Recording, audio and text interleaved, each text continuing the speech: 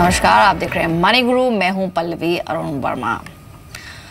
In fact अपने बच्चों से तो हर माँ बाप प्यार करते हैं, लेकिन एक रिस्पॉन्सिबल पेरेंट वो है जो अपने बच्चों के भविष्य को सिक्योर करे, बच्चों का भविष्य सुरक्षित करने के कई तरीके हो सकते हैं। इसके लिए खुद माता पिता को फाइनेंशियली स्टेबल होने के साथ साथ फाइनेंशियली प्रिपेयर भी होना ज़रूरी है। आमतौर पर लोग चाइल्ड प्लान के ज़रिए इस ज़िम्मेदारी को निभाते हैं, लेकिन क्या सिर्फ़ चाइल्ड प्लान लेना काफ़ी है? आखिर इस महँगाई के दौर में चाइल्ड प्लान की अहमियत और उसकी किफायत कितनी है? इस पर बात करने के लिए हमारे साथ आज है आईसीआईसी प्रोडेंशियल लाइफ इंश्योरेंस के chief sales and distribution mister Pranab Mishra welcome Pranab जब बात होती है चाइल्ड प्लान्स की तो ट्रेडिशनली ये रिटर्न्स के लिए खरीदे जाते थे। मतलब इनफैक्ट अभी तक भी अगर हम माइंडसेट को समझें तो एक ऐसा प्लान जो 15 से 20 साल के लिए होगा और शायद उसमें कुछ अच्छा रिटर्न मिल सकेगा। अगर आज के संदर्भ में हम चाइल्ड प्लान्स को देखें तो अब इसकी कितनी रेलेवेंस है और कितनी इंपॉर्टेंस आप समझते हैं? आ, सबसे बड़ी बात जो है जब आप बच्चों के भविष्य के लिए देखते हैं और बच्चों के लिए प्लानिंग करते हैं।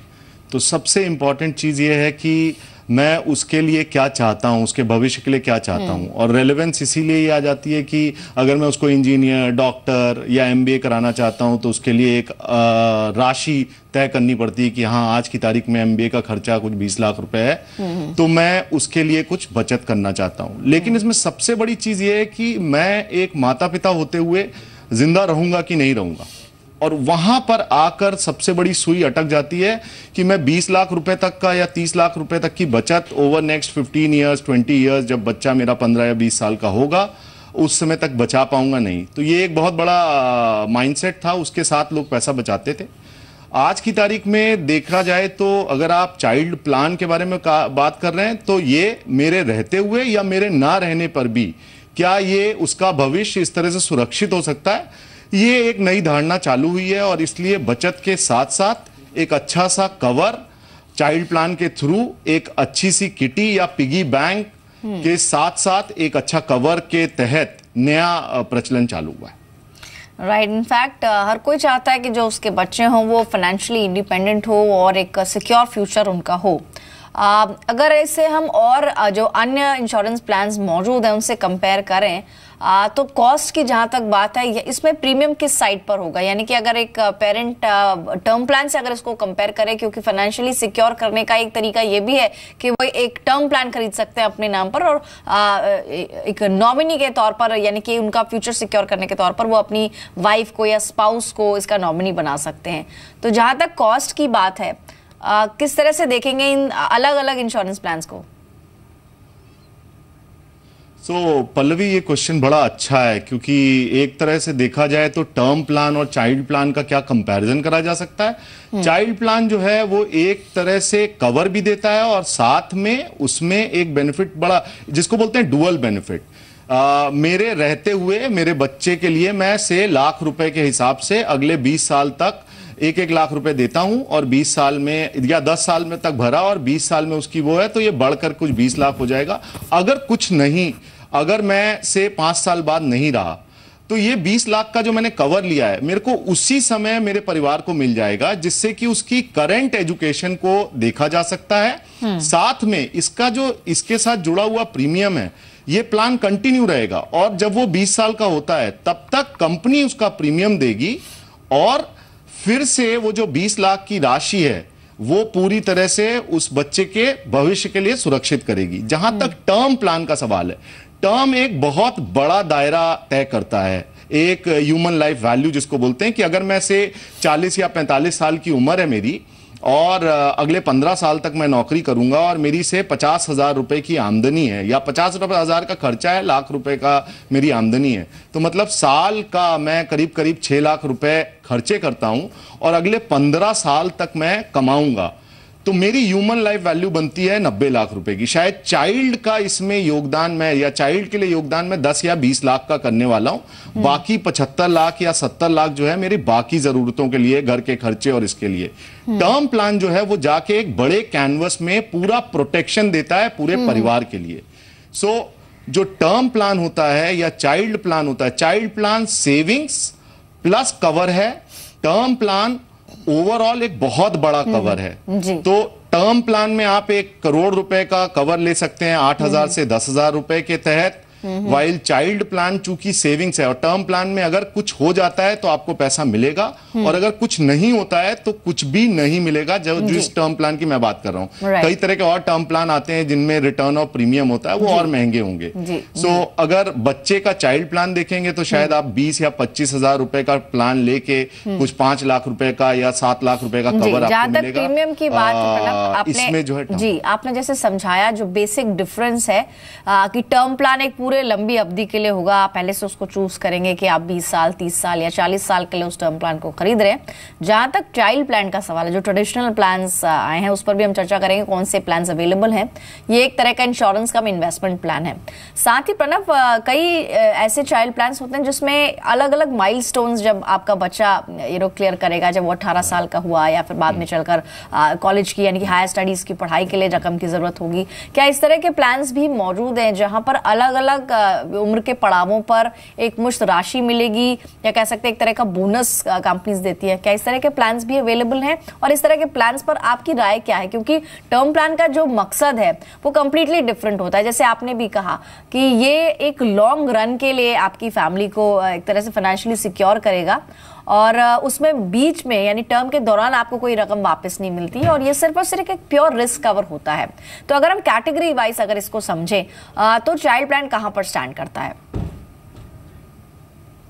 हाँ तो बिल्कुल सही कह रहे हैं आपकी जो टर्म प्लान है वो प्योर रिस्क कवर है, लेकिन टर्म प्लान बहुत बड़ी ज़रूरत है। क्योंकि इस देश में सोशल सिक्योरिटी नहीं है तो इसलिए टर्म प्लान लेना सबसे पहला अगर आपको इंश्योरेंस की कोई पॉलिसी लेनी है तो अपनी ह्यूमन लाइफ को पहले प्रोटेक्ट कर लें। इसके बाद आती है savings as a need so so, पहली प्रोटेक्शन उसके बाद सेविंग जहाँ तक चाइल्ड प्लान का सवाल है तो अगर मैं चाहता हूँ कि मेरा बच्चा इंजीनियर बने तो मुझे ऐसा लगता है कि 20 साल की उम्र में वो इंजीनियरिंग में जाएगा।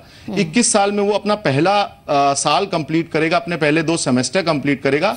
तो अगर इस चाइल्ड प्लान से 21 साल की उम्र में कुछ 20 परसेंट या 25 परसेंट राशि जो सम अशोर्ड है सपोज़ 20 लाख का कवर लिया है तो चार लाख रुपए मिल जाता है तो मैं उस समय उसकी हायर स्टडी के को फंड कर सकता हूँ इसी प्लान के तहत। फिर चौबीस बीस के बाद 21 साल में एक पे आउट फिर 22 साल में एक पे आउट चौबीस तेईस साल में एक पे आउट एंड फाइनल ओवरऑल जो बचा हुआ राशि है वो 25 साल की उम्र में पूरी मिल गई। सो पाँच साल के दायरे में इस तरह के प्लान है।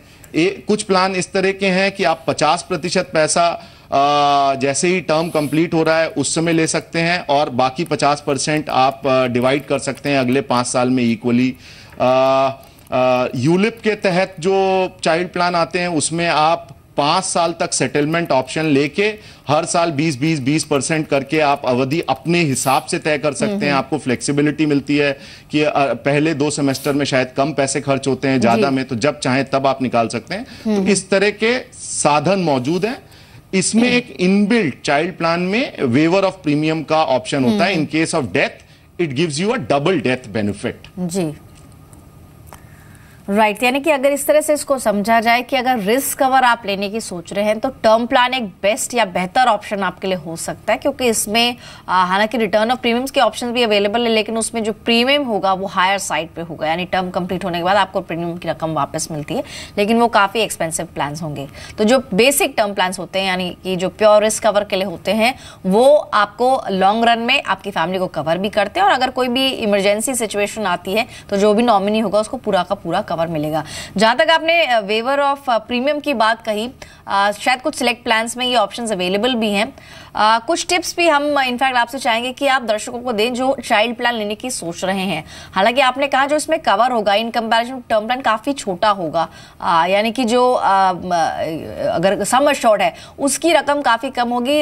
जबकि अगर हम प्रीमियम से कंपेयर करेंगे तो प्रीमियम्स टर्म प्लान में बहुत कम होंगे। ऑनलाइन में बहुत कम प्रीमियम पे ऑप्शंस आपको मिल जाएँगे। आपने कहा भी दस तक की रेंज में आपको एक करोड़ तक का ऑनलाइन टर्म प्लान मिल सकता है।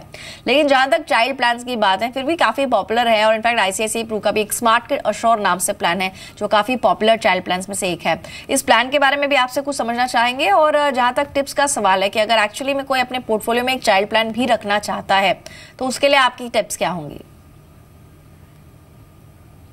तो मेरा सबसे बड़ा मानना है, जहाँ तक प्रोटेक्शन की नीड है तो ऑफकोर्स आदमी को अपने ह्यूमन लाइफ वैल्यू के तहत एक बेसिक लाइफ कवर का प्लान लेना चाहिए। उसके साथ आजकल क्रिटिकल इलनेसेस और आ, जिसको बोलते हैं हेल्थ बेनिफिट के प्लान भी जोड़ना बहुत ज़रूरी है क्योंकि जिस तरह की लाइफस्टाइल चेंज हो रही है वो।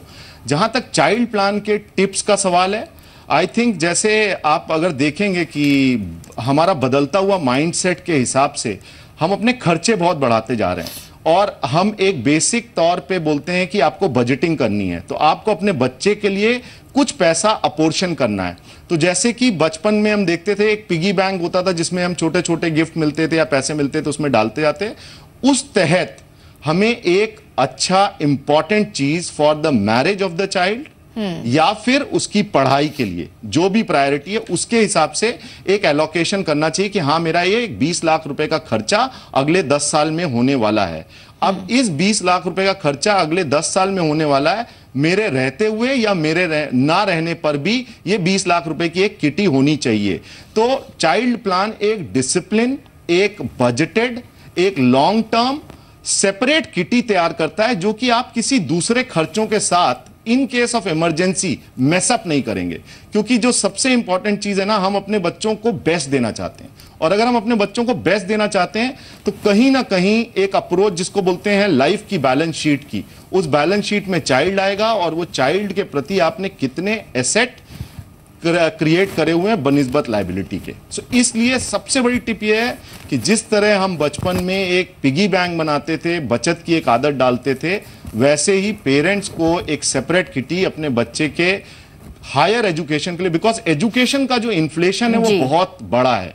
और टर्म हम्म। जो है टर्म प्लान जो है वो शायद सिर्फ़ लाइफ अशोर्ट के रहने पे तो कुछ बेनिफिट नहीं करेगा बट ना रहने पर वो बेनिफिट कर सकता है। तो इसलिए चाइल्ड की एज अ नीड बिल्कुल इग्नोर करना उस सेविंग हम्म, को हम्म। कोई एक बहुत अच्छी चीज़ नहीं है उसके लिए सेपरेट बजट बनाए। आज की तारीख में एक अच्छे इंजीनियरिंग कॉलेज में भेजने का खर्चा करीब आठ से दस लाख रुपए है। एक हम्म, अच्छा एमबीए कराने का बीस लाख रुपए है। सो अगर हमारे पास उपदेश और इसका सही आकलन करना भी बेहद ज़रूरी तो है। तो जल्दी शुरुआत करना ही एक बेहतर कदम हो सकता है। कुछ टिप्स हमारे एक्सपर्ट ने शेयर किए।